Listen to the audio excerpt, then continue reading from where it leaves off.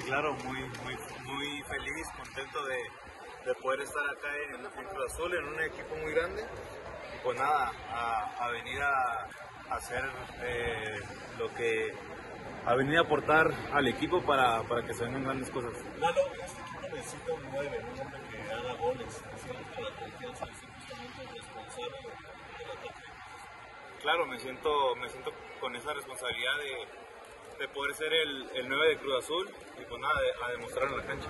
La, la vitrina de Cruz Azul es muy grande y también se refleja en selección mexicana. Has pedido, eh, has pedido un poco de, de terreno.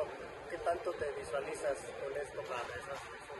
Sí, claro, como lo dije, se ha perdido un poco de terreno, ya sea por, por, por lo de la lesión y eso, y, y pues nada, es una, una gran vitrina para poder mostrar lo que, lo que venía haciendo antes y pues nada, demostrarlo, como lo digo, en, en la cancha es donde, donde se tiene que reflejar todo. Después de la lesión, ¿cómo vienes del último semestre? No, ya estoy completamente completa- completamente bien físicamente y, y pues nada, eh, lo de la lesión este, duró tres meses, en las últimas jornadas ya estaba bien, lo único que me afectaba un poco era lo, lo, de- lo del aire, lo del, lo del acondicionamiento, acondicionamiento físico, pero pues nada, en las vacaciones estuvimos trabajando y, y ya estamos bien físicamente. Lalo, llevas eh, en los torneos en los que mejores cuotas goleadoras has tenido son de tres tantos.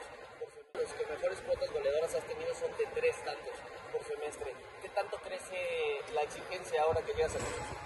Sí, claro, en- pues me tocó hacer esa cuota de goles porque mi trabajo era, era diferente, o sea, me tocaba hacer el, el trabajo sucio y, y que otro les tocara hacer los goles. Este, lo que me toque hacer lo, lo haré de la mejor manera, ya sea para, para aportar eh, mi 100% al equipo. Claro, ¿qué mensaje le das a la afición eh, de Cruz Azul que pues por ahí tiene la esperanza ¿no? de que seas ese hombre gol que le hace falta al equipo?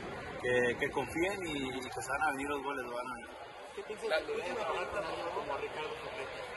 Pues nada, tengo, tengo mucha ilusión de, de trabajar con él, es alguien que, que admiro por, por la trayectoria que tiene y ser entrenado por él siento que me, que me va a ayudar bastante. Lalo, el último delantero mexicano que jugó en Cruz Azul, Santi Jiménez, hoy está en Europa. Eh, ¿Buscas o ves eh, Azul esa oportunidad de consolidar y también sueños con el continente? Sí, claro, es, es uno de, de mis objetivos, este, dar lo mejor aquí en, en la máquina y, y pues, ¿por qué no pensar en, en ese sueño europeo?